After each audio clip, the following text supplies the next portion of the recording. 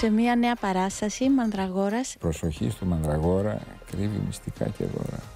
Κρύβει μυστικά και δώρα. Αυτό σήμερα θα σου έλεγα για αυτό που κάνω. Δεν σας βλέπουμε συχνά να δίνετε συνεντεύξεις. Όταν μου ζητάνε δίνουν. Απλώς α, δίνουν πολλοί άλλοι και εντάξει. Όταν μου ζητήθηκε πήγα. Όχι ότι, δηλαδή και δύο-τρεις φορές που πρωταγωνίστησε σε σειρές, πήγα και σε πρωινά και στα λοιπά πήγα. Δεν κέρδισα και κάτι, να σου πω την αλήθεια. Είναι δική σας επιλογή να απέχετε από την τηλεόραση τα τελευταία χρόνια; Όχι, δεν χτύπησε το τηλέφωνο. Πέσαμε και στην κρίση και τα λοιπά. Πολλοί όσοι μπορούσαν να φεύγαν για Κύπρο, εγώ δεν. ε, Όχι, δεν μπορούσα να πάω στην Κύπρο, αλλά έτσι ήταν. Όσοι μπορούσαν πήγαιναν στην Κύπρο. Με την τηλεόραση, ναι. Το θα το ξαναπώ ότι την αγαπούσα και την αγαπάω. Θεωρείτε ότι υπάρχει εμπορικό και ποιοτικό θέατρο; Από πολύ νωρίς σε αυτόν τον τόπο σου δίνει μια σφραγίδα. Αυτός είναι ποιοτικός, αυτός κάνει ποιότητα, αυτός κάνει, είναι εμπορικός. Αυτή η στρατοπέδευση, εγώ πήγα, έκανα διάφορα όπου μπορούσα. Όταν συναντήθηκα σε αυτή τη δουλειά με ανθρώπους που είχαν τη σφραγίδα του εμπορικού, είτε γιατί είχαν παίξει καθημερινά, είτε είχαν παίξει σε άλλα θέατρα, ήταν πολύ πιο. Με εντυπωσίασαν από τη συμπεριφορά τους. Θετικά. Θετικά. Δεν είχαν αυτό ότι ο, ε, ότι εγώ κάνω ποιότητα και ποια και τι, τι είναι η ποιότητα δηλαδή. Εγώ πάντα είχα την αγωνία της επιβίωσης. Πάντα και πριν πεθάνει ο πατέρας μου έπαιρνε τηλέφωνο να ρωτήσει αν έφαγα ή αν έχω λεφτά. Κα- Κάτι ήξερε ο άνθρωπος. Εγώ δεν είχα τη δυνατότητα να πω θα κάνω μόνο ας πούμε στη μικρή επίδαυρο, στη μεσαία επίδαυρο ή στη μεγάλη επίδαυρο. Ε, Δεν το επιδίωξα να είμαι αγαπητός στο συνάφι, στο αυτός, επιχειρηματίες διατήρησα όσο μπορούσα μια πορεία με το ένστικτό μου και τη διαστησή μου.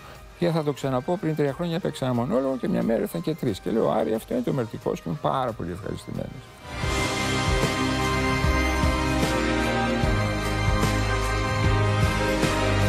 Σχετικά με όλα αυτά που συμβαίνουν το τελευταίο διάστημα στο θέατρο και μιλάω για το ελληνικό μητού. Ήταν ένας χώρος και είναι παθών, ας πούμε. Είναι ένα πράγμα άγριο. Εκτίθεσε εφόρου ζωής. Δεν θέλω να πω τίποτα. Στενοχωριέμαι με όλα αυτά που έγιναν και επικεντρώνεται εξα- σε αυτό το χώρο και μόνος. Ας πούμε. Μπράβο, εντάξει. Όλα είναι άγια τα όλα, τα, τα συνάφια τα άλλα. Πρέπει να σου πω ότι οι ηθοποιοί είναι κα- πιο άγιοι από άλλα συνάφια. Θέλω να μου πείτε μια ιστορία που είχατε πει για ένα μικροτσακωμό με τον Μίκη Θεοδωράκη. Αλλά αυτό ήταν τότε του αιμνίστου θέμα Αναστασιάδη, που είχα περάσει πάρα πολύ ωραία. Έκανε την τρίπλα.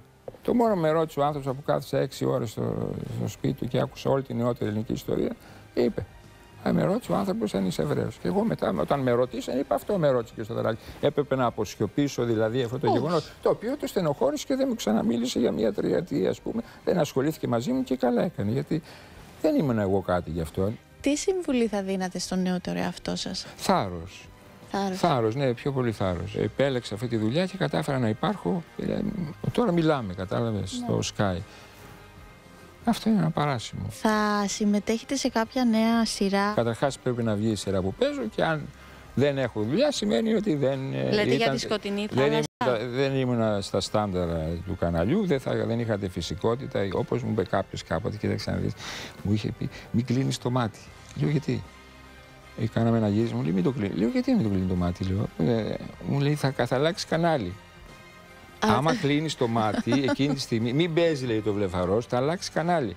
Και τρομοκρατήθηκα. Και λέω καλύτερα να φύγω τότε. Γιατί αν έχω και τέτοια ένταση προκειμένου ο άλλος να μην πατήσει το περιβόητο κουμπί και μια άλλη φορά να μου εξηγήσεις τι γίνεται με αυτά τα κουμπιά. Δηλαδή και εδώ ε, μακάρι να έρθουν οι νέοι, γιατί φαίνεται ότι όλοι πεθάναν οι μεγαλύτεροι.